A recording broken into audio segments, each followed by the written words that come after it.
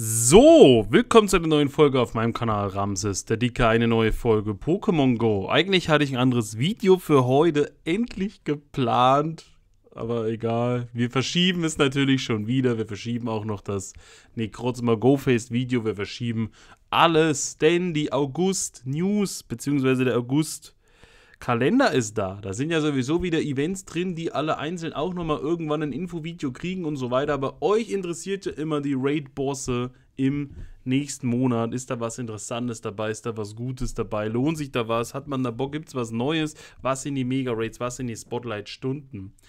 Jetzt ist sogar direkt auf Englisch, äh, auf Deutsch gestern Englisch vier kleine, Deutsch eine große, die aus den vier kleinen besteht. Das kennt man ja gar nicht mehr. Wow, das heißt, ich kann heute direkt schnell aktuell ein Video dazu machen.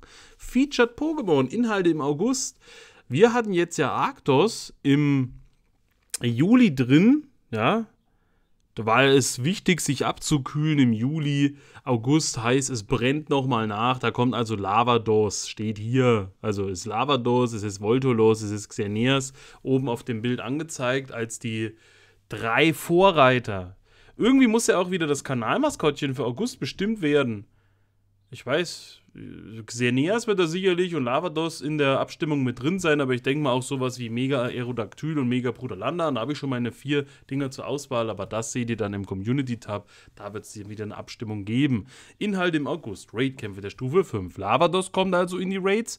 3. bis 12. August. Markiert es euch im Kalender. Gleichzeitig in dem Zeitraum, ihr seht es unten drunter, ich kann mal mit der Maus hier rumfummeln. Das ist Lavados hier oben.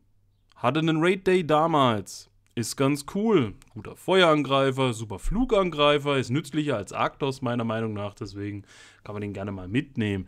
Während, Arct äh, während Lavados im Raid ist, 3. bis 12. ist im gleichen Zeitraum auch Mega Aerodactyl im Mega Raid. Das finde ich besonders cool, denn ich habe ein Aerodactyl erlöst zu einem hundertprozentigen, was ich jetzt die ganze Zeit schon als Buddy habe, einfach nur um den mal auf Level 50 zu pushen. Bam. Ich habe, kann den aber nicht mega entwickeln, weil ich keine Mega-Energie habe. So, jetzt ist also Mega Aerodactyl dann in den Raids. Ich kann also Bonbons machen, ich kann Mega-Energie sammeln, ich kann ähm, XL-Bonbons vielleicht und so weiter. Das ist cool, da freue ich mich drauf. Finde ich sogar interessanter noch als Lavados. Dann haben wir ab 12. 12. bis 21. August kommt Voltolos in die 5er Raids und gleichzeitig auch Mega Kangama in die Mega Raids. Voltolos an sich in der Tiergeistform ist mega krass und genial. Hier in dieser Wolkenform ist er jetzt nicht so spektakulär. Da weiß ich nicht. Musste auch nicht unbedingt so viel machen. Wenn dir das Shiny noch fehlt, dann macht das halt, aber das gilt ja bei allen. Mega Kangama habe ich, glaube ich, auf dem Habanero-Account schon entwickelt. Ist auch schon, schon Stufe 3. Vielleicht da noch ein bisschen was sammeln, um den noch ein bisschen hochzuziehen oder noch ein besseres Exemplar. Aber Finde ich beide eigentlich uninteressant. Finde ich Lavados Mega Aerodactyl besser.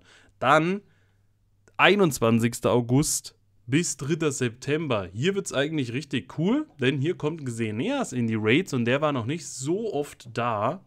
Ist mega hübsch, wird auch in der GBL ab und zu mal genutzt. Äh, das Shiny ist verfügbar, ist richtig toll. Ist also was, worauf sich viele Leute immer freuen. Gleichzeitig ist auch mega brutal Lander da, der eben der Beste ist. Also von allen Pokémon, die hier angezeigt werden, finde ich mega brutal Lander irgendwie am coolsten. Da habe ich, glaube ich, auch noch keins entwickelt, zur Mega-Entwicklung gemacht. Da bräuchte ich auch noch irgendwie ein paar Bonbons, ein paar XL, Shiny nicht, aber mega Energie. Das heißt, Xenias Mega Bruder Landa ist für mich die coolste Hälfte. Lavados Mega Aerodactyl auf Platz 2 und auf Platz 3 hinten abgeschlagen. Voldolos und Mega Kangama. Was eure Favoriten und Ziele sind, könnt ihr mir ja wieder unten reinschreiben. Raid-Stunden daraus resultieren sich dann am 7. August Lavados, am 14. August Voldolos und am 21. August Xeneas sowie am 28. August Xerneas. Kommen wir noch zu den Rampenlichtstunden, weil die auch unten drunter stehen. Also Raid-Stunden immer Mittwoch, 18 bis 19 Uhr. Rampenlichtstunden immer am Dienstag, 18 bis 19 Uhr. Da haben wir am 6. August Rotomurph. Ist ein cooler Bodenangreifer ist auch nützlich in der GBL, kommt ja auch mit doppelt Fang-EP. Nehmt es euch mit. Am 13. August haben wir dann Lil Yep. doppelte Fang Bonbons. Oh, ist glaube ich jetzt nicht so nützlich, aber sieht als Shiny auch cool aus. Dann haben wir am 20. August Menki mit doppelt verschick Bonbons.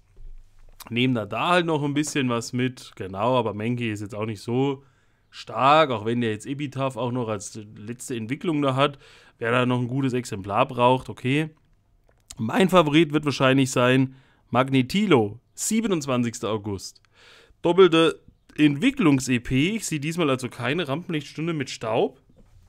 Aber Magnetilo ist einfach ein Stahl-Pokémon. Kannst du deine Stahlmedaille pushen. Ging früher immer nicht so gut, hast du immer viel Zeit gebraucht. Ist Magneton, Magnezone einfach ein richtig tolles Elektro-Pokémon auch, wo ich auch gucken wollte, vielleicht mir eine kleine Krypto-Armee aufzubauen. Dafür brauche ich aber Bonbons. Ja, wenn da ganz viele sitzen, kann man dann natürlich auch Bonbons machen. Krypto-Raids. Krypto-Suicune erscheinen an Wochenenden im August bei Krypto-Raids haben wir damals mal ein Video drüber gemacht, waren vor Ort Krypto-Sekun, brauche ich auch gar nichts mehr. Ist auch meiner Meinung nach unnütz, also ist auch nur vor Ort möglich, kannst du nicht einladen, werde ich wahrscheinlich gar keins machen. Und an Events, was für euch noch interessant ist, wo es auch dann noch ein extra Video zu geben wird, gleich im Anschluss, beziehungsweise dann den Tag später. 2. bis 12. August die Abenteuerwoche. Die war immer cool, weil da häufig auch Gesteins-Pokémon oder naja, Aerodactyl passt einfach dazu und auch halt andere Fossil- und Boden-Pokémon oder Gesteins-Pokémon da im Vordergrund standen, da immer ganz viel auch mit EP und so rumhantiert wurde. Drehst den Stop, kriegst gleich zehnfache EP für den ersten Stop, wenn du die noch nie gedreht hast. Machst du hier, machst du da, in, in drei Tagen Level 40 erreicht manche Leute mit, äh, mit der Abenteuerwoche. Was es dieses Jahr in der Abenteuerwoche geht, seht ihr aber in einem extra Video. Dann haben wir hier 8. bis 12. August, das ist also mitten im Event, startet noch ein Event, das zur Abenteuerwoche gehört und heißt Abenteuerwoche Übernahme.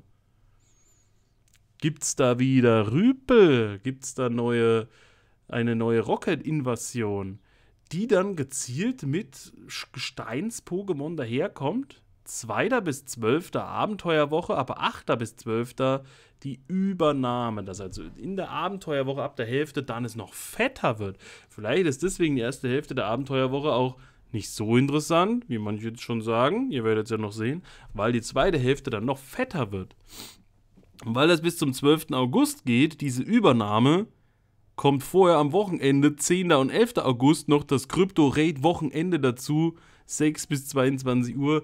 Also, Krypto-Raid-Wochenende. Das heißt wirklich nochmal, da wird was gemacht mit den Kryptos, mit den Rüpeln, mit Giovanni, mit allem. Das ist ein Dreierpack an Events, was alles irgendwie ineinander greift und zusammengehört und alles im Rahmen der Abenteuerwoche. So, dann ist die Hälfte vom August auch schon wieder um. 16. bis 20. August die Pokémon-Weltmeisterschaft 24 und Go-Kampf-Wochenende himmlisches Teamwork.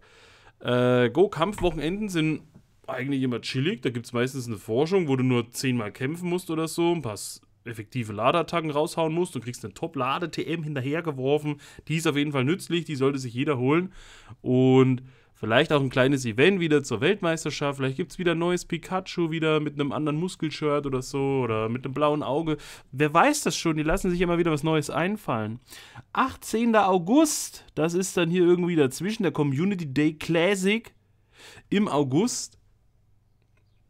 Jetzt haben wir den neuen C-Day schon angekündigt mit Robbal Ende August. Gedacht, boah, das ist ja noch ewig hin. Aber ihr seht, am 16. oder heißt das 18. Am 18. August, ich muss zum Augenarzt, ist ein C-Day Classic noch zwischendrin. Was wird das sein? Was Steiniges. Lavita, oh mein Gott, ich freue mich so. Na, ich habe keine Ahnung, was es ist.